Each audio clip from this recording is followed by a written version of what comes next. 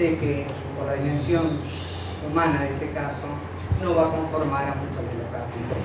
Condenar a Santiago Edgardo Silvoso de las más condiciones personales, obrantes del encarcelamiento, a la pena de tres años de prisión de efectivo cumplimiento. Acaban de condenar a Santiago Silvoso a tres años de prisión efectiva y ordenado la inmediata detención, además de cuatro años de inhabilitación por lesiones culposas. La familia pedía el dolo para de esa manera poder pedir una pena mayor. Ustedes la escucharon. Pedía.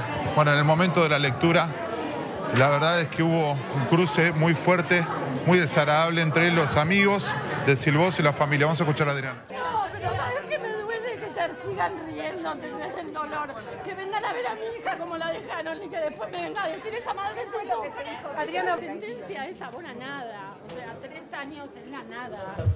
Ella tenía la posibilidad de cambiar la carátula y no lo hizo, ¿me entendés? Entonces, años, con todas las apelaciones que va a hacer, queda libre, ¿me entendés? ¿Es prisión efectiva o no? Va en prisión efectiva y la, dicen que es la automática detención.